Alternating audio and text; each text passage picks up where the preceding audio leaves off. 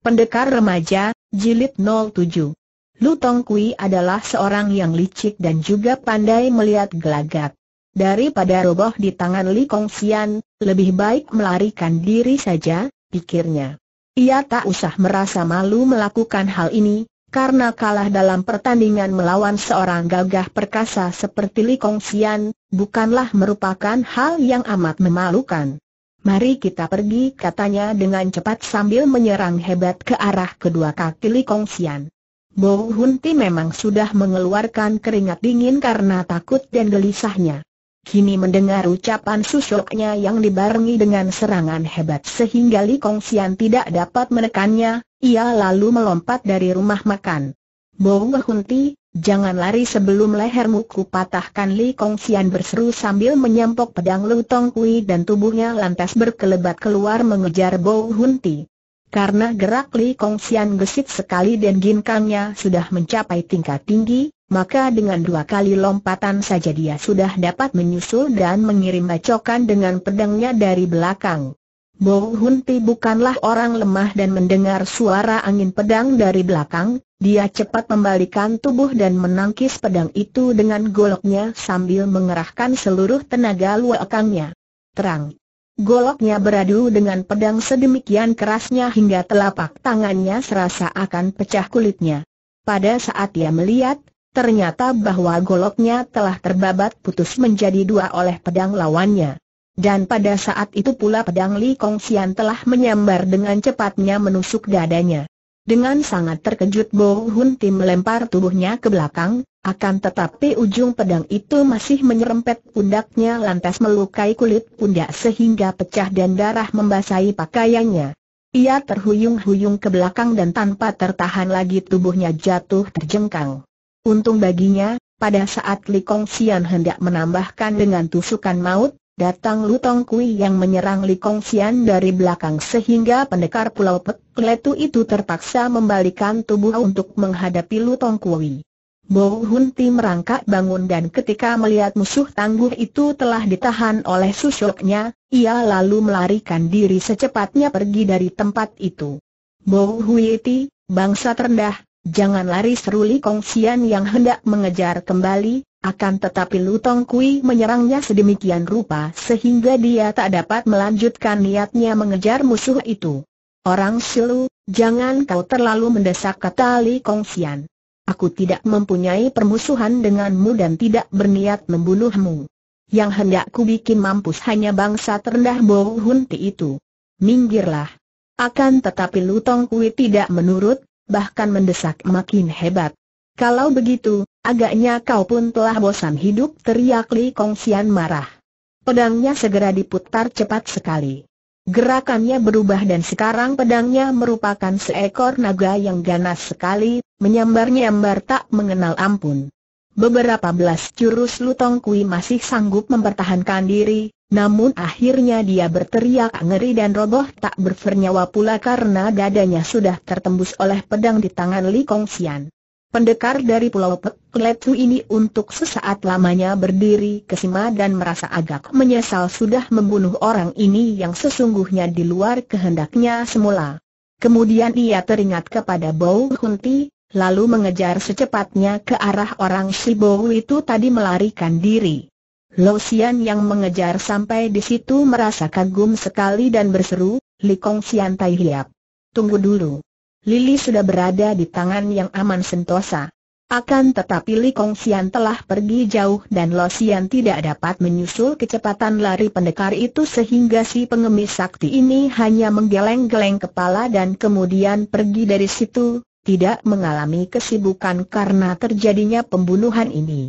Bo Hunti telah berada di tempat ini dengan susuknya, maka tentu ia melarikan diri menuju ke tempat tinggal gurunya yang tak jauh dari sini, pikir Losian dan ia lalu berlari cepat menuju ke dusun Tong Sibun, tempat tinggal Ban Sai. Hari telah sore ketika ia tiba di dusun itu dan melihat betapa rumah Ban Sai sunyi saja. Dia lalu menuju ke hutan di mana dia bersama Lili menolong Tio Kam senganak yatim piatu itu dari siksaan seorang Hwasyo kecil yang mendiami kuil megah dari Ban Sai Chin Jin. Dugaannya memang tepat sekali. Pada waktu dia tiba di dekat kuil itu, dia menyaksikan pertempuran yang hebat sekali sedang berlangsung antara Li Kongxian dan Bansai Chinjin sendiri. Seperti juga dulu, kembali ia mengintai dari balik tetumbuhan yang rindang, menonton pertempuran luar biasa dahsyatnya itu. Hwasyo kecil yang kejam dulu itu berdiri tidak jauh dari tempat pertempuran, sedangkan di dekatnya berdiri pula Bo Hunti yang bertolak pinggang. Tidak jauh dari tempat itu berdiri pula seorang yang melihat dari keadaan pakaiannya, adalah seorang dusun yang kebetulan lewat di situ dan telah menonton pertempuran dengan mata terbelalak penuh kegelisahan dan ketakutan. Orang dusun ini rupanya masih muda. Li Kongxian memang sudah mendapatkan jejak musuhnya dan mengejar terus sampai ke tempat itu. Dia masih melihat berkelebatnya bayangan Bo Hunti memasuki kuil yang amat mentereng di dalam hutan itu. Li Kongxian ragu-ragu untuk masuk ke dalam kuil, karena ia adalah seorang yang menghargai peraturan dan kesopanan. Tak berani ia secara sembarangan memasuki kuil tanpa izin kepala Hwasyo yang menguasai kelenteng. Maka ia lalu berseru keras. Bo manusia jahat. Janganlah kau mengotori kelenteng suci dengan telapak kakimu yang hitam. Keluarlah untuk menerima kematian secara laki-laki. Beberapa kali Li Kongsian berteriak-teriak dari luar kuil dan tidak lama kemudian, dari dalam kuil itu keluar seorang gemuk pendek yang sudah tua akan tetapi wajahnya masih kemerah-merahan tanda bahwa ia sehat sekali. Pakaiannya amat mengherankan karena mawahnya dan rambutnya yang sudah putih itu disisir rapi dan dikuncir ke belakang. Di luar pakaiannya yang terbuat daripada sutra halus dan mahal itu, dia mengenakan sebuah baju luar terbuat daripada bulu yang sangat halus dan mahal. Sepatunya juga baru serta mengkilat dan pada tangan kanannya dia memegang sebatang huncwe, pipa tembakau, yang panjang. Kepala Hun Chue itu masih mengepulkan asap tembakau yang berbau harum, tanda bahwa tembakau yang diisapnya adalah tembakau yang mahal. Li Kongxian berdiri tertegun. Dia belum pernah bertemu dengan orang ini, dan melihat potongan tubuhnya dan Hun Chue yang luar biasa itu, ia menduga bahwa orang ini tentulah si Hun Chue maut yang terkenal pula dengan sebutan Bansai Chin Jin. Akan tetapi kenapa Ban Sai Chin Jin yang disohorkan sebagai seorang pemeluk kebatinan malah terlihat begini pesolek? Maka Li Kongsian merasa ragu-ragu dan hanya memandang dengan mata menyinarkan cahaya tajam. Sebaliknya, kakek yang sebenarnya memang Ban Sai Chin Jin dengan tenang keluar dari kuil diikuti oleh seorang Hwasyo kecil berkepala gundul dan bermata liar, lalu dia menjura kepada Li Kongsian dan berkata, Selamat datang di kuilku ini, Pek Lecu Tai Hiap, pendekar besar dari Pulau Pek Lecu. Sungguh satu kehormatan besar sekali mendapat kunjungan seorang gagah seperti kau. Hanya anehnya, sepanjang pendengaranku, Li Kongxian adalah pendekar besar yang penyabar dan tenang, akan tetapi kenapa sekarang ia mengunjungi sebuah kuil dengan pedang di tangan dan iblis maut membayang pada mukanya? Ucapan ini sungguh pun cukup pantas dan merendah, akan tetapi mengandung ejekan, terutama sekali tekanan kata-katanya. Li Kongxian juga menjura sebagai balasan penghormatan, lalu bertanya, kalau tidak salah dugaanku, Lon Hyong, orang tua gagah, tentulah yang disebut Ban Sai Chin Jin si Hun Chue Maut. Betulkah dugaanku ini? Ban Sai Chin Jin tertawa dengan suara ketawanya yang aneh. Hihi, hihi, hihi, hihihi, hahaha.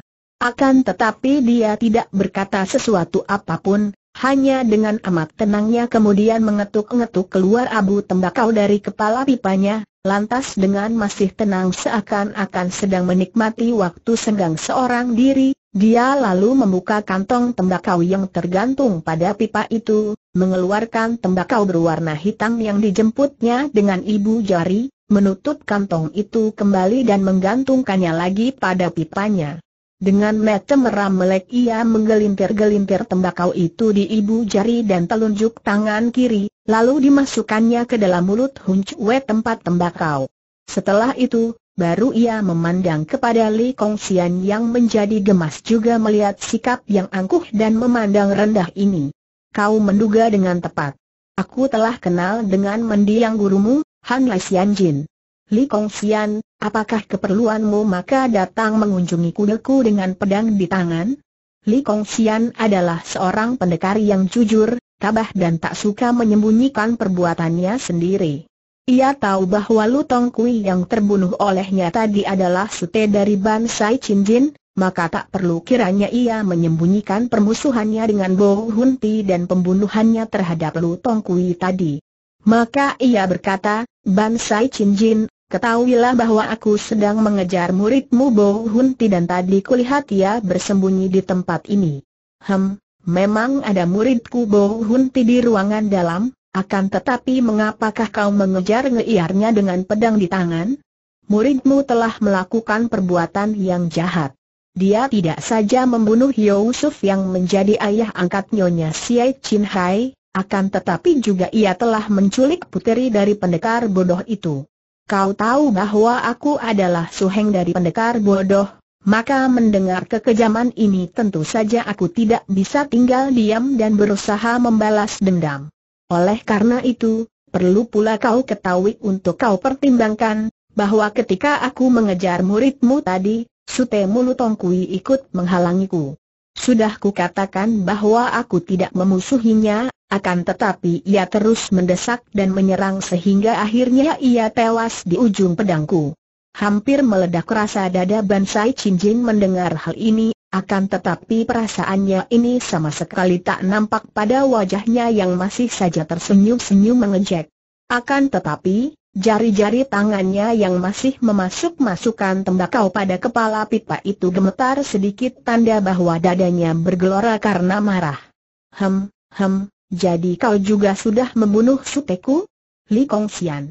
Agaknya kau mengandalkan kepandaianmu untuk berbuat sesukamu terhadap murid dan suteku. Kau berlaku sebagai hakim sendiri untuk menghukum mereka. Apakah engkau sama sekali sudah tak memandang mukaku lagi? Ban Sai Chin Jin, harap kau orang tua suka mempertimbangkan secara baik-baik dan juga menggunakan cengli, aturan. Muridmu itu sudah melakukan pembunuhan terhadap diri Yusuf dan menculik pula putri Suteku, berarti bahwa dia sengaja memusuhi pendekar bodoh. Adapun Sute Mulutongku itu, dia mencari kematiannya sendiri karena dialah yang mendesakku dan menghalang-halangiku mengejar muridmu yang jahat. Enak saja kau bicara tiba-tiba Bansai Cincin tidak dapat menahan sabarnya lagi dan matanya bersinar-sinar, dadanya berombak, akan tetapi ia masih sempat menyalakan api untuk membakar tembakau di kepala pipanya. Bo Hunti membunuh Yusuf adalah urusannya sendiri. Mereka sama-sama dari Turki dan urusan antara mereka tidak ada hubungannya dengan kita. Adapun mengenai penculikan putri pendekar bodoh, belum tentu kalau muridku bermaksud buruk. Buktinya, manakah anak yang diculiknya itu? Kau hanya menuduh secara membuta saja. Sekarang tak perlu kau banyak cakap lagi, paling perlu kau harus membayar hutangmu dan membalas kematian suteku sambil berkata demikian, Ban Sai Jin menyedot pipanya dan terciumlah bau asap yang sangat keras memusingkan kepala. Bagus Li Kongxian berseru marah. Kau pun hendak membela yang jahat? Majulah, jangan kira aku takut kepadamu. Li Kongxian yang sedang menderita kesedihan hati karena perginya istri dan anaknya itu memang adatnya berubah menjadi keras dan mudah marah. Keberaniannya semakin bertambah-tambah karena ia tidak takut mati lagi setelah hidupnya mengalami kegagalan dan kepahitan. Manusia sombong gurumu sendiri belum tentu berani untuk bersikap sesombong ini di hadapanku. Nah, kau mampuslah. Setelah berkata demikian, Ban Sai Jin lalu menyemburkan asap hitam dari mulutnya. Semburan ini bukanlah semburan biasa saja, akan tetapi yang dilakukan dengan tenaga hikang sepenuhnya sehingga asap hitam itu menyambar cepat ke arah muka Li Kongxian. Pendekar ini mengelak cepat karena tahu akan lihainya asap ini. Iblis tua, kau tidak malu menggunakan kecurangan Li Kongxian membentak marah dan menyerang dengan pedangnya. Akan tetapi ketika Ban Sai Cincin menangkis dengan huncuenya, Diam-diam dia merasa terkejut sekali karena ternyata bahwa tenaga luakang dari orang tua pendek itu bukan main hebatnya dan masih lebih tinggi daripada tenaganya sendiri. Maka bertempurlah dua orang berilmu itu dengan hebatnya. Pedang di tangan Li Kongxian bergerak cepat dan sebentar saja tubuhnya telah lenyap di dalam gulungan cahaya pedangnya sendiri, sedangkan Hun Cui di tangan Ban Sai Chin Jin benar-benar luar biasa. Saking cepatnya gerakan Hun Cue itu, maka yang terlihat hanyalah sinar kehitaman yang tebal dan kuat, merupakan benteng baja yang diliputi asap hitam bagaikan kabut, yaitu asap yang keluar dari tembakaunya yang beracun. Sesudah pertempuran berjalan seru, barulah kelihatan Bo Hun Ti keluar dari tempat sembunyinya dan dengan bertolak pinggang dia lalu menonton pertempuran itu bersama pendeta cilik gundul yang dahulu hendak membedah perut Tio Kam Seng. Kebetulan sekali pada saat itu di tempat itu terdapat seorang penduduk kampung muda yang datang mencari kayu kering. Ketika ia mendengar suara senjata beradu, ia tertarik dan datang pula ke depan kelenteng. Sekarang dia berdiri dengan mulut melongot, ketika menyaksikan pertempuran yang luar biasa dan yang selama hidupnya belum pernah dia saksikan itu. Ia tidak bisa melihat orang yang sedang bertempur, hanya melihat gulungan sinar putih keemasan dari pedang Li Kongxian serta gulungan sinar hitam dari Hun Chue Ban Sai Chin Jin. Dan pada saat pertempuran telah berjalan 50 jurus lebih, datanglah Losian yang mengintai dari balik gerombolan pohon. Biarpun Lasian bukan seorang biasa dan telah memiliki kepandaian tinggi, akan tetapi menyaksikan pertempuran ini, ia menjadi tertegun dan kagum sekali. Belum pernah selama hidupnya dia menyaksikan pertandingan yang demikian seru dan hebatnya. Losian selama ini mengagumi kepandaian suhengnya, Mokei Nio Tiang Lei yang telah mewarisi semua kepandaian mendiang suhunya. Akan tetapi ketika melihat gerakan dua orang yang sedang bertempur ini, dia merasa ragu-ragu apakah kepandaian suhengnya itu dapat menandingi kepandaian Ban Sai Chin Jin. Sebetulnya, dalam hal gerakan ilmu silat, Li Kong Xian tak usah merasa kalah terhadap Ban Sai Chin Jin. Kalau saja kakek pesolek itu mempergunakan ilmu silat biasa, agaknya tak mungkin ia akan dapat melawan Li Kong Xian sampai sekian lamanya. Akan tetapi, Ban Sai Chin Jin bukan seorang ahli silat biasa. Di samping ilmu silat dia telah mempelajari ilmu Hoatsut, sihir, dari bangsa Mongol dan di dalam gerakan Hun Cue-nya banyak terdapat gerakan-gerakan aneh yang mempengaruhi pandangan mata lawan. Sering kali Hun Cue itu membuat gerakan rahasia sehingga tiba-tiba saja Li Kong Xian merasa matanya kabur dan pikirannya bingung. Hanya berkat wekangnya yang sudah tinggi dan permainan pedangnya yang memang sudah mendekati kesempurnaan sajalah yang masih menyelamatkan nyawanya karena lawannya tak dapat mudah membobolkan pertahanan pedangnya. Selain ini, juga dalam tenaga dalam Likong Xian harus mengaku kalah. Tenaga dalam yang dimiliki oleh Bansai Jin bukanlah tenaga biasa, akan tetapi tenaga yang sudah diperkuat pula dengan ilmu hitam dan mantra. Sebaliknya, Ban Sai Chin Jin merasa kagum dan diam-diam juga merasa sangat penasaran sekali. Ia adalah seorang yang belum pernah merasa dikalahkan orang, dan Hun Cui-nya sudah dikenal oleh seluruh orang gagah di kalangan Kang Ou sebagai senjata yang tak terlawan sehingga ia dijuluki Hun Cui Maut. Akan tetapi, menghadapi seorang jago muda saja sampai puluhan jurus belum juga ia dapat merobohkannya. Jangankan merobohkan, bahkan mendesak saja dia pun tidak mampu. Maka, dengan penuh kemarahan Bansai Cincin membentak. Xiao Kuai, Lo Kuai, semua tunduk padaku. Li Kong Xian, ayahmu, kakekmu, gurumu, semua tunduk kepadaku. Kau juga takut kepadaku. Ini adalah ucapan yang mengandung mantra dan merupakan sihir yang luar biasa, oleh karena mendadak Li Kongxian merasa berdebar-debar dan dalam pandang matanya, Ban Sai Chin Jin nampak sangat menakutkan dan mengerikan hati. Kalau orang lain yang menghadapi pengaruh ilmu hitam ini, tentu akan lemaslah seluruh tubuhnya sehingga akan mudah sekali dirobohkan. Akan tetapi Li Kongxian bukanlah orang sembarangan, tetapi telah bertahun-tahun dia tinggal menyepi seorang diri di pulau kosong di tengah laut. Telah bertahun-tahun pula dia melakukan tapa dan semedi untuk memperkuat batin dan membersihkan pikiran. Banyak sekali godaan-godaan setan yang dialaminya pada waktu ia menyepi di atas pulau itu, dan semua rintangan dan godaan itu telah dapat dihadapinya dengan baik. Sekarang, mendapat serangan luar biasa dari Ban Sai Chin dengan ilmu hitamnya, biarpun hatinya berdebar serta rasa takut dan ngeri meliputi hatinya, akan tetapi dia dapat memperteguh imannya dan permainan pedangnya tidak menjadi kacau. Li Kongsian, lihat. Api neraka membakarmu teriak lagi Ban Sai Chin sambil tiba-tiba menepuk pipa tembakaunya dengan tangan kiri sehingga api tembakau lantas memancar keluar dari kepala pipanya itu, menyambar ke arah Li Kongsian. Pengaruh ilmu sihir membuat api itu nampak besar bukan main dan menyambar ke arah kepalanya. Akan tetapi Li Kongsian masih dapat berlaku gesit dan tidak terpengaruh oleh teriakan yang mengandung hawa hitam itu. Dia cepat mengelak ke kiri dan sungguh pun dia merasa terkejut sekali, namun dia masih sanggup menyelamatkan diri daripada serangan api tembakau beracun itu. Tak terduga sama sekali olehnya, bahwa diam-diam Bo Hunti yang berwatak curang dan palsu itu, melakukan kecurangan yang sangat memalukan. Pada waktu Bo Hun Tim melihat suhunya sangat sukar mengalahkan Li Kong Sian, orang ini lalu mengeluarkan gendawanya yang kecil akan tetapi kuat sekali.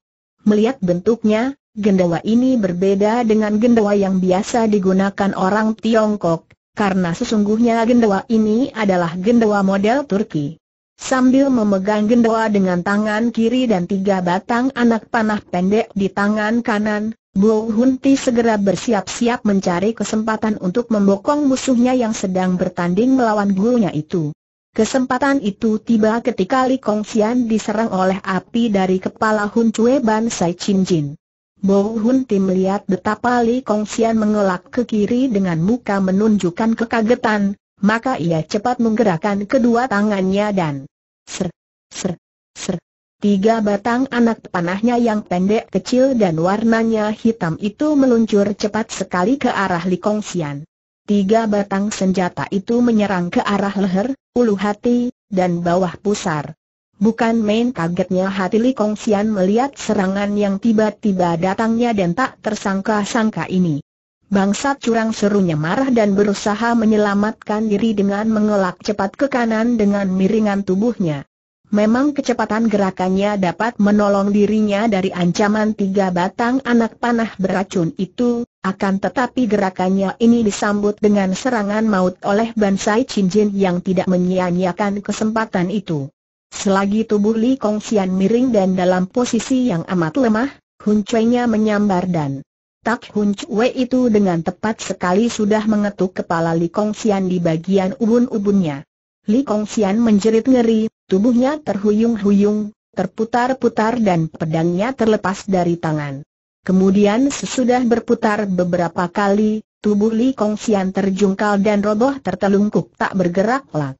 Ubun-ubunnya sudah pecah terkena pukulan Hun Chue yang hebat itu dan nyawanya melayang pada waktu itu juga. Li Kongxian, suami Angin Yochu, pendekar besar dari Pulau Pek Letu, kini sudah tewas dalam keadaan yang amat mengecewakan. Losian yang mengintai dari balik pohon, mengerutkan kening dan meramkan matanya dengan hati perih dan ngeri. Tanpa terasa pula dua titik air mata melompat keluar dari sepasang matanya, turun di atas pipinya. Apakah dayanya? Kepandaiannya masih tidak cukup kuat untuk menghadapi Bo Hunti, apalagi jika menghadapi gurunya, Ban Sai Chin Jin yang amat tangguh dan kejam itu. Sementara itu, Ban Sai Chin Jin juga tercengang melihat kecurangan muridnya. Ia menegur perlahan. Hunti, kenapa kau lancang membantuku? Kau sudah merendahkan derajatku dengan bantuan tadi dan hatiku tidak merasa puas sungguh pun aku telah menang dan berhasil merobohkan Li Kongxian. Biarpun kau tidak membantu, akhirnya Li Kongxian pasti akan roboh juga di tanganku. Mengapa kau membantu dengan jalan curang? Teocu tidak tahan lebih lama lagi melihat orang yang telah membunuh Susyok ini jawab Bo Hunti, dan Bansai Cinjin terhibur juga mendengar ini. Tiba-tiba dia melihat pemuda kampung itu dan membentak, siapa dia itu? Entah, Teocu juga tidak mengenalnya, jawab Bo Hunti. Dia adalah seorang kampung yang mencari kayu, suhu, kata Huasyo cilik yang ternyata murid merangkap pelayan dari Bansai Cinjin. Celaka, dia sudah melihat perbuatanku terhadap Li Kongsian tadi, dan apabila hal ini sampai diketahui orang luar, aku akan mendapat malu kata Ban Sai Chin Jin. Tiba-tiba tubuhnya melompat dan tahu-tahu dia telah berada di hadapan orang kampung muda yang masih berdiri terbelalak ngeri melihat pembunuhan tadi. Kini ia menjadi makin ketakutan ketika melihat Ban Sai Chin Jin telah berada di depannya dan sebelum ia dapat melarikan diri, Ban Sai Chin Jin menyemburkan asap hitam ke arah mukanya. Orang itu mendekap muka dengan tangannya, terbatuk-batuk beberapa kali seakan-akan tak dapat bernapas, kemudian tubuhnya terhuyung-huyung dan akhirnya jatuh telentang tak bernapas lagi. Mukanya menjadi hitam karena racun yang disemburkan melalui asap tembakau itu. Dengan amat kejamnya, untuk menolong kehormatan dan namanya agar jangan sampai ada lain orang tahu akan kecurangannya terhadap Pili Kongsian tadi, Ban Sai Chin Jin telah membunuh pemuda kampung itu begitu saja. Hahaha Bo Hunti tertawa girang. Suhu telah membuat penyelesaian yang amat cepat dan tepat. Sudahlah, kau kubur dua mayat itu agar jangan sampai ada orang melihatnya, kata Ban Sai Chin Jin. Suhu, mengapa menyia-nyiakan kesempatan baik ini tiba-tiba Wasyo cilik itu berkata kepada gurunya. Jantung kedua orang ini masih segar dan mudah sekali diambil. Ban Sai Chin Jin tertawa dan berkata kepada Bo Hunti, lihatlah, Sutemu benar-benar ingin mempelajari ilmu kebal itu dengan sempurna. Bo Hunti hanya tersenyum menyeringai. Dia maklum bahwa suhunya mempunyai ilmu kekebalan yang dapat diturunkan kepada muridnya dengan jalan makan obat yang dicampur dengan tiga buah jantung manusia.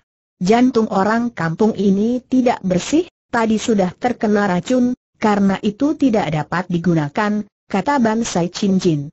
Kalau jantung dia itu, dia menunjuk ke arah tubuh Li Kongsian yang masih menelungkup di atas tanah, masih baik, akan tetapi, dia seorang pendekar besar, aku tak sampai hati untuk membelek dada mengambil jantungnya.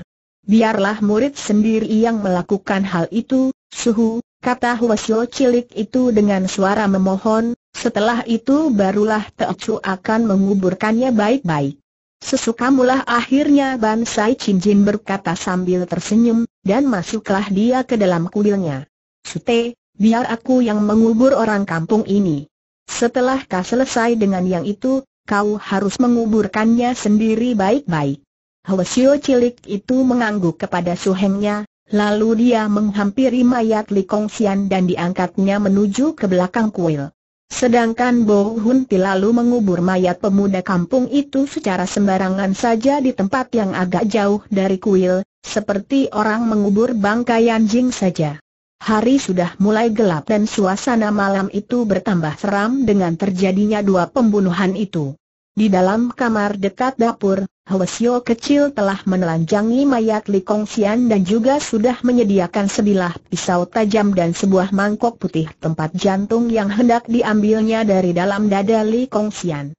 Kemudian, Hwasyo cilik ini mempergunakan pisaunya untuk memotong sedikit rambut dari kepala Li Kongsian dan mengikatkan rambut itu pada sebatang sumpit gading yang telah disediakan. Ia meletakkan sumpit itu di atas mangkok putih tadi, Lalu ia menyalakan tiga batang hiu. Kemudian ia bersembahyang di depan mayat itu dan berkata, Arwah orang Sili. Aku, Hokti Hwasio, dengan sungguh hati mengundangmu untuk mengajukan beberapa pertanyaan. Dia lalu membawa hiu bernyala itu dan berjalan mengitari mayat Likong Sian tiga kali, kemudian dia menancapkan ketiga batang hiu itu ke dalam mulut mayat Likong Sian. Sesudah itu, dia mengambil sumpit yang telah diikat ujungnya oleh rambut Likong Sian tadi, diputar-putarkan di atas Hio agar terkena asap Hio sambil mulutnya berkemak-kemik membaca mantra. Lalu dia menaruh sumpit itu di atas mangkok lagi dan berkata, Arwah orang Sili. Kalau kau sudah masuk ke dalam sumpit ini, berputarlah. Sungguh aneh sekali dan sukarlah untuk diselidiki mengapa dapat terjadi demikian, akan tetapi benar saja sumpit di atas mangkok itu lalu terputar-putar bagaikan digerakkan oleh tangan yang tidak kelihatan. Hwasyo cilik yang bernama Hokti Hwasyo itu tersenyum girang. Arwah orang Sili. Perkenankanlah aku meminjam jantung dari tubuhmu yang sudah tidak ada gunanya lagi untuk campuran obat membuat kebal tubuhku. Kalau kau setuju, berputarlah satu kali, kalau tidak setuju, berputarlah tiga kali. Hwasio itu dengan penuh gairah memandang ke arah mangkok dan sumpit. Dan sumpit itu mulai bergerak memutar satu kali, lalu diam, akan tetapi lalu memutar sekali lagi dan sekali lagi baru diam tak bergerak. Ternyata bahwa kalau memang benar yang menjawab itu adalah arwah Likong Sian, maka arwah pendekar itu tidak menyetujui jantung dari tubuhnya diambil oleh Hwasyo cilik ini. Hokti Hwasyo mengerutkan kening dan wajahnya menjadi muram. Ia segera mencabut tiga batang hiu itu dengan kasar dari mulut mayat Li Kong Sian, lalu mengangkat hiu itu tinggi di atas kepalanya sambil berkata, Arwah orang Sili. Ketahuilah bahwa aku, Hokti Hwasyo, akan merawat kemudian mengubur jenazahmu baik-baik. Dengan demikian, aku sudah melepas budi kepadamu, maka apakah kau tidak mau membalas budi itu untuk bekal naik ke surga? Nah, sekali lagi ku minta, arwah orang seli, berikanlah jantungmu dengan rela sesudah berkata demikian, ia lalu menancapkan kembali hiu itu ke dalam mulut mayat itu. Ia menghampiri sumpit di atas mangkok dan berkata lagi, Nah, sekarang jawablah. Berikan jantung tubuhmu padaku, setuju atau tidak kembali sumpit itu berputar-putar dan masih tetap, tiga kali. Hokti Hwasyo membanting-banting kakinya dengan gemas sekali. Dia mengambil pisau tajam dari atas meja dan menghampiri mayat Li Kong Sian yang bertelanjang bulat dan telentang di atas meja panjang. Baik, kau tidak setuju? Aku tetap akan mengambil jantung tubuhmu, hendak kulihat kau bisa berbuat apa. Sudah mampus kau masih saja jahat dan memusuhi kami, orang Sili. Dengan muka kejam Huasyo cilik ini lalu mengangkat tangannya hendak menusuk dada mayat Li Kong Sian, akan tetapi pada saat itu, tiba-tiba meniup angin besar dari jendela dan api lilin menjadi padam. Hokti Huasyo terkejut bukan main dan menoleh ke jendela. Wajahnya menjadi pucat sekali karena ia melihat sebuah kepala tersembul di jendela dan karena sekarang penerangan lilin telah padam, maka kepala itu nampak hitam dan besar mengerikan. Hok Ti Hwasyo biarpun masih kecil, akan tetapi karena telah menerima latihan ilmu-ilmu hitam, tidak merasa takut terhadap segala setan dan iblis. Akan tetapi oleh karena tadi ia hendak memaksa membedah dada mayat itu biarpun arwah si mayat tak menyetujuinya, tentu saja kini menyangka bahwa itu adalah setan penasaran dari Li Kong Sian yang datang mengganggu. Ia melemparkan pisaunya ke bawah dan berlari berteriak-teriak. Tolong, setan, tolong, suhu, ada setan. Kepala yang tersembul di jendela itu ternyata memiliki tubuh dan kini tubuhnya bergerak melompat ke dalam kamar, lalu memondong mayat Li Kong Sian dan cepat dibawa lagi keluar. Bayangan yang disangka setan ini ternyata adalah Losian. Sebagaimana diketahui, pengemis sakti ini mengintai dan menyaksikan betapa Li Kong Sian terbunuh dan betapa orang muda kampung yang tanpa disengaja menyaksikan pula pembunuhan itu, tadi telah dibunuh secara kejam oleh Bansai Chin. Lalu ia mendengar tentang permintaan Hok Ti Hwasyo yang hendak mengambil jantung dari mayat Li Kong Sian. Lo Sian tidak berani bergerak di hadapan Bo Hun Ti dan Bansai Chin. Akan ketika melihat Hwasyo cilik itu membawa mayat Li Kong Sian ke belakang, ia lalu mengikuti dan mengintai dari jendela. Sesungguhnya, perbuatan Lo Sian juga yang memutarkan sumpit gading tadi, dengan mengerahkan hikang dan meniup dari jendela, dan dia pula yang meniup padam api lilin. Ketika mendengar teriakan Hok Ti Hwasyo, Ban Sai Chin Jin dan Bo Hun Ti cepat-cepat memburu dan mereka masih melihat bayangan Lao Sian membawa lari mayat Li Kong Sian.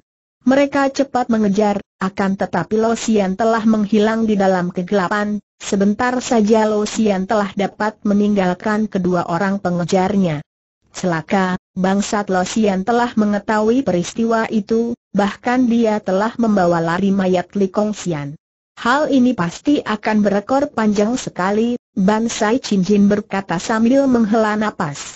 Biarlah, apakah suhu takut menghadapi kawan-kawannya kata Bo Hunti. Kalau pendekar bodoh dan yang lain-lain datang, kita gempur mereka. Takut sih tidak, akan tetapi aku merasa segan untuk bermusuhan dengan orang-orang Kang Ou. Hidupku biasanya senang dan aman, kini pasti akan menemui gangguan dan semua ini gara-gara kau, Hunti. Karena itu, kau harus memperdalam kepandaianmu.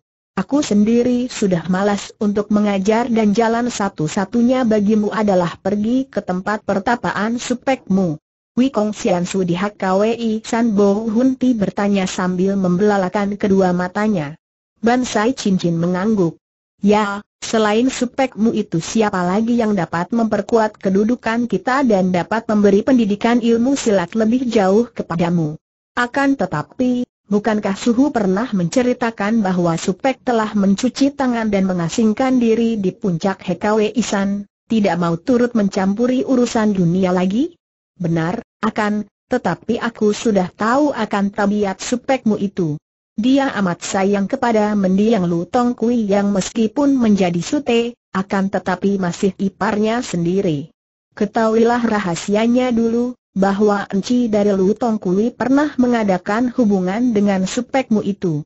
Nah, apabila kau membawa suratku, lantas menceritakan tentang tuasnya Lu Tong Kui, tentu dia akan turun gunung dan memperkuat kedudukan kita. Akan tetapi, suhu Pembunuh Lu Tong Kui adalah Li Kong Xian sedangkan Li Kong Xian telah terbalas oleh Suhu. Bodoh. Jangan kau beritahukan bahwa pembunuh susukmu itu adalah Li Kong Xian. Beritahukan saja bahwa pembunuhnya adalah pendekar bodoh serta kawan-kawannya, dan bahwa matinya akibat dikeroyok hingga tidak saja Su Heng akan mendendam kepada pendekar bodoh, akan tetapi juga kepada yang lainnya. Pendeknya, kalau Su Heng dapat dibujuk turun gunung dan tinggal di sini bersama kita, jangankan baru pendekar bodoh, andai kata Buk pun Su bangkit lagi dari kuburan, kita tak usah takut menghadapinya. Bo Hunti merasa girang sekali. Dan bagaimana dengan Losian yang membawa lari mayat Li Kong Sian itu, Su? Serahkan dia kepadaku.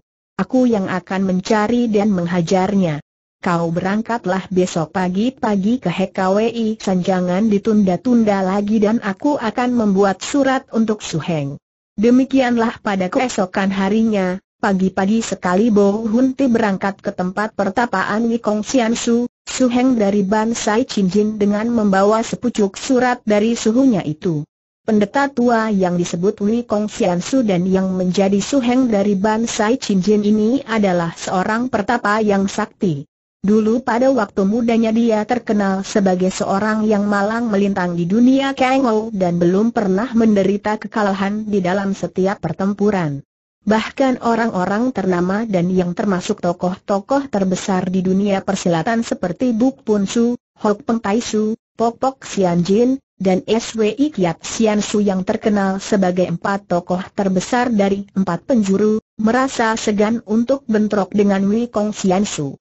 Bukan karena empat tokoh besar ini merasa jari dari takut, akan tetapi oleh karena Wei Kong Sian Su terkenal memiliki kepandaian silat yang amat ganas dan dahsyat sehingga setiap kali dia bertanding ilmu kepandaian dengan seorang lawan, lawan itu tentu akan tewas di dalam tangannya. Bagi Wei Kong Sian Su, hanya ada dua keputusan dalam tiap pertandingan, yaitu menang atau kalah dan mati. Oleh karena inilah, maka ia mendapat julukan Toat Beng Lomo atau Iblis Tua Pencabut Nyawa. Adapun Ban Sai Chin Jin lalu mengadakan perjalanan pula untuk mencari dan menyusul Osian yang telah mengetahui rahasianya. Sebetulnya Ban Sai Chin Jin tidak takut orang mengetahui bahwa ia telah membunuh Li Kong Xian, kalau saja pembunuhan itu terjadi dalam sebuah pertempuran yang adil. Yang membuatnya merasa khawatir apabila sampai diketahui orang adalah bahwa kekalahan Li Kong Xian sebenarnya karena kecurangan yang dilakukan oleh Bo Hunti. Ban Sai Jin adalah seorang tokoh Kengou yang amat terkenal dan memiliki banyak sahabat hampir di seluruh daerah. Karena itu dengan mudah dia dapat menyusul dan mengetahui di mana adanya Losian yang juga banyak dikenal orang. Kita mengikuti perjalanan Losian yang membawa lari jenazah Li Kongxian. Sesudah dapat melepaskan diri dari pengejaran Ban Sai Jin dan Bou Hunti, Losian segera masuk ke dalam hutan pohon pek yang bersambung dengan hutan di mana terdapat kelenteng tempat tinggal Ban Sai Chin Jin. Dia memilih tempat yang baik, yaitu sebuah bukit kecil di tengah hutan yang amat baik Hong kedudukan tanahnya. Kemudian dengan penuh hikmat dia lalu mengubur jenazah pendekar besar Li Kongxian. Sampai lama Lo Xian bersila, di depan gundukan tanah itu untuk mengheningkan cipta. Di dalam hatinya dia menyatakan terima kasihnya kepada mendiang Li Kongxian, dan juga menyatakan penyesalannya bahwa karena membela dia, pendekar besar itu sampai menemui maut di tangan Ban Sai Chin Jin. Kemudian Lo Xian lalu menanam satu pohon kembang mawar hutan di depan gundukan tanah itu untuk menjadi tanda. Sesudah itu, Pengemis sakti ini lalu melanjutkan perjalanan menuju ke Bengsan untuk menyusul suhengnya yang membawa Lili beserta Kamsen ke puncak bukit itu. Sama sekali dia tidak pernah mengira bahwa bahaya besar sedang mengancam dan mengejar dirinya. Siapakah yang menyangka bahwa Bansai Cincin hendak menyusul dan mencarinya? Ia hanya mencuri mayat Li Kongxian dan hal ini bukanlah hal yang terlalu penting bagi Bansai Cincin. Lo Xian tidak tahu bahwa Ban Sai Chin Jin mengejarnya karena ia dianggap satu-satunya orang yang sudah mengetahui akan rahasia pembunuhan curang atas diri Li Kong Xian. Beberapa hari kemudian, baru saja Lo Xian keluar dari dusun, tiba-tiba saja di depannya berkelebat bayangan orang dan tahu-tahu Ban Sai Chin Jin telah berdiri di depannya sambil tersenyum-senyum dengan huncui mautnya mengebulkan asap hitam. Ternyata bahwa kakek pesolek yang amat lihai ini telah dapat menyusulnya. Hahaha, pengemis jembel kata Ban Sai Chin Jin. Apa kau kira kau dapat melarikan diri begitu saja dariku setelah kau mencuri tubuh yang dibutuhkan oleh muridku? Ban Sai Chin Jin, Lo Xian berkata dengan gelisah, aku tidak mengganggu muridmu dan tentang jenazah Li Kong Xian itu, memang aku yang telah mengambilnya untuk dikubur sepatutnya. Dia adalah seorang pendekar besar dan sudah sepatutnya kalau jenazahnya dikebumikan dengan baik. Apakah perbuatanku itu kau anggap salah? Hem, Losian, kau pandai memutar lidah. Kau sudah berkali-kali mengganggu Bo Hunti mencampuri urusannya. Sekarang kau pun membawa pergi mayat Li Kongsian. Di manakah mayat itu sekarang? Sudah dikubur dengan baik? Jawab Losian. Bagus, dan jantungnya tentu sudah rusak. Kalau begitu, kau gantilah dengan jantungmu sendiri. Hayo pengemis jembel, lekas kau serahkan jantungmu kepadaku, baru aku mau memberi ampun. Lo Sian tahu bahwa kakek ini sengaja mencari perkara. Bagaimana orang dapat hidup kalau jantungnya diambil? Ia lalu mencabut pedangnya dan berkata keras, kau inginkan jantung? Inilah dia sambil berkata demikian, Lo Xian lalu menyerang dengan sebuah tusukan pedangnya yang dilakukan dengan dekat dan cepat, karena ia maklum bahwa ilmu kepandaian Ban Sai Chin Jin jauh berada di atas tingkatnya. Si Hun Cue mau tertawa geli. Hun Cue di tangannya kemudian bergerak didahului oleh semburan asap hitam dari mulutnya ke arah muka Lo Xian. Pengemis sakti tahu akan berbahayanya asap ini, maka ia cepat melompat ke kiri dan memutar pedangnya untuk melindungi tubuhnya dari serangan lawan. Akan tetapi tiba-tiba saja pedangnya berhenti berputar karena telah tertempel oleh Hun Chue pada tangan Ban Sai Chin Jin dan tidak dapat digerakkan lagi. Lepas Ban Sai Chin Jin membentak sambil ia memutarkan Hun Chue-nya sedemikian rupa sehingga pedang di tangan Lao Xian ikut terputar, Kemudian dengan tenaga tiba-tiba dia membetot hingga terlepaslah pedang itu dari tangan Lausian tanpa dapat dicegah lagi. Huncainya segera meluncur dengan sebuah totokan hebat sehingga robohlah Losian tanpa dapat berdaya lagi karena jalan darahnya sudah kena tertotok oleh Huncue yang lihai itu. Ban Sai Jin mengempit tubuh Losian yang menjadi lemas itu dan membawanya lari secepat terbang kembali ke kelentengnya. Setelah tiba di kelenteng yang mewah itu, dia melemparkan tubuh Losian ke atas lantai, lalu mengambil semangkok obat yang biru kehitaman warnanya. Minum ini katanya dan Hosio kecil muridnya itu memandang sambil menyeringai. Biarpun Losian telah lemas dan tidak bertenaga lagi, namun hatinya masih cukup tabah dan keras, maka dia diam saja. Meskipun mangkok itu telah ditempelkan pada bibirnya, namun ia tidak mau meneguk obat itu. Eh haha, pengemis jembel Hokti Hwasyo si Hwasyo kecil itu mengeiak. Kau kelaparan dan kehasan, minuman seenak ini mengapa tidak mau minum sambil berkata demikian, Hwasyo kecil ini menampar mulut Losian yang tidak dapat mengelak atau mengerahkan tenaga plak maka bibir Losian pecah dan mengeluarkan darah. Buka mulut anjing ini kata Ban Sai Jin kepada muridnya. Hok Ti yang memang semenjak kecil mendapat pendidikan kekejaman itu sambil tertawa-tawa kemudian menggunakan kedua tangannya membuka mulut Losian dengan paksa, lalu mengganjal mulut itu dengan kakinya yang bersepatu kotor sehingga mulut Losian kini ternganga diganjal sepatu dari Hwasyo cilik itu. Ban Sai Jin lalu menuangkan obat mangkok itu ke dalam mulut Losian. Si pengemis sakti mencoba untuk menutup kerongkongannya, akan tetapi Hokti Hwasyo, si Hwasyo kecil yang kejam dan penuh akal itu lalu memencet hidung Losian dengan kedua jari tangannya. Losian terengah-engah dan terpaksa harus bernapas dari mulut dan masuklah obat itu ke dalam perutnya. Obat itu terasa amat getir dan masam dan setelah masuk ke dalam perut terasa amat dingin sehingga dia menggigil. Losian berpikir bahwa obat itu tentulah racun dan ia tentu akan mati, maka sambil meramkan mati ia menanti datangnya maut. Tak lama kemudian pikirannya menjadi lemah dan sudah tak dapat digunakan lagi, lalu ia menjadi pingsan tak sadarkan dirinya. Sesudah dia membuka mata kembali, Ternyata dia telah berada di dalam sebuah hutan seorang diri. Tidak nampak lain orang di sana dan pikiran Lasian masih tidak karuhan. Segala benda di depannya nampak berputar-putar dan sebentar kemudian dia berteriak-teriak. Pemakan jantung. Tolong, pemakan jantung. Kemudian, dengan beringas dia pun melompat bangun dan berlari terhuyung-huyung tak karuan seperti orang mabok. Terdengar dia berteriak-teriak, Sebentar menangis bagaikan orang ketakutan setengah mati, kemudian dia tertawa dengan geli seakan-akan melihat sesuatu yang amat lucu. Ternyata Losian telah menjadi gila. Obat yang dipaksakan memasuki perutnya itu adalah semacam obat mukjizat yang dapat merampas ingatannya dan membuat dia menjadi gila. Alangkah kejamnya Ban Sai Chin dan muridnya Hok Ti Hosio.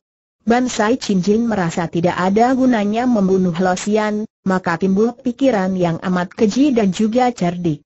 Ia membiarkan Losian hidup, akan tetapi memberinya minum racun yang membuatnya menjadi gila sehingga tak mungkin lagi Losian bisa membuka rahasia pembunuhan atas diri Li Kongxian. Jangankan mengingat akan hal itu semua, bahkan terhadap diri sendiri pun Losian tak ingat lagi.